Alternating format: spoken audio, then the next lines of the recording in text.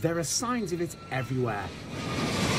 Airfares to used cars. Consumer prices have surged 5.4% over the past year, the sharpest rise since 2008, the year of the last great economic crisis before COVID 19.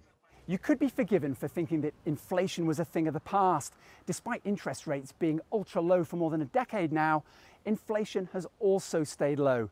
But the US arguably has too much of a good thing right now an economy that's roaring back to life after it was shattered by COVID 19, and in some cases, inflation being driven by a classic case of demand outstripping supply.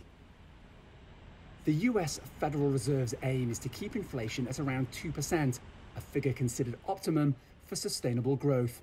But its head, Jerome Powell, told lawmakers that once you strip out these price surges for industries witnessing pent up demand, inflation won't be a problem. With inflation having run persistently below 2%, we will aim to achieve inflation moderately above 2% for some time so that inflation averages 2% over time and longer term inflation expectations remain well anchored at 2%. Investors seem to preempt that sentiment. The S&P 500 stock market hit yet another record high just hours before Powell spoke as some of the world's biggest companies announced impressive earnings. People are expecting a gains for the S&P in earnings of over 50% this quarter, so investors are expecting a pretty good season.